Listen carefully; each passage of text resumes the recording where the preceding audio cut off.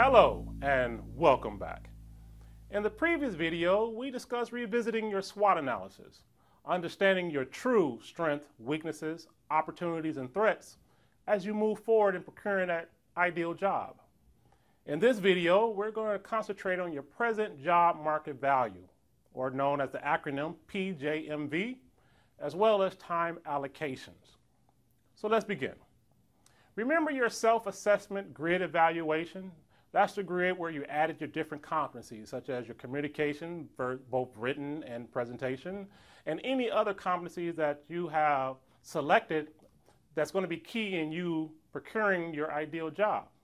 Well, at the bottom of that grid, you're going to have what's called your present job market value score. This score is a combination of your self-assessed score, your score that's given to you by your peers, as well as the benchmark. And the benchmark is usually 100%.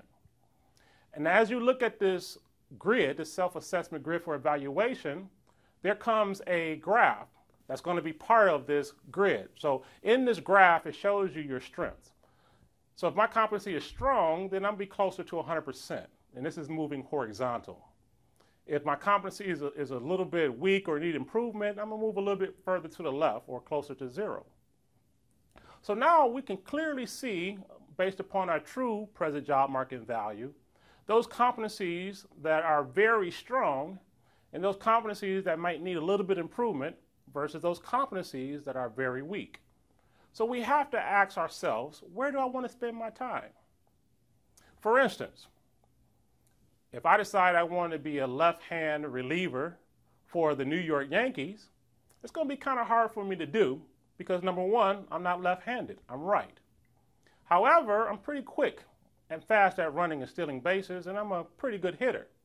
So it would behoove me to spend more time on my hitting skills and my running skills than on me trying to improve being a left-hand pitcher. And so you have to ask these same questions. As you look at your selected job that you have selected that you want to procure, what are the primary skills that are going to be most important in me landing this job? Is communication going to be more important than maybe my uh, information or technology?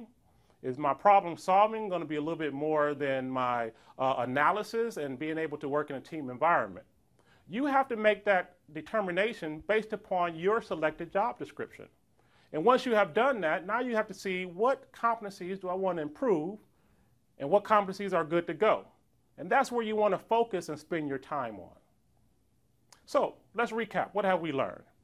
We learned the importance of looking at our present job market value and really analyzing it to see where our strengths, weaknesses are in relation to our graph, better known as the dashboard. So looking at this dashboard, I'm able to determine by looking at it what I'm strong, closer to the right, being 100%, versus where I'm weak, closer to the left, going towards zero, and determining where I want to spend my time to improve upon those selected skills or competencies. What's coming up next? We're going to talk about self-coaching versus professional coaching. Thank you, and I look forward to seeing you in our next video.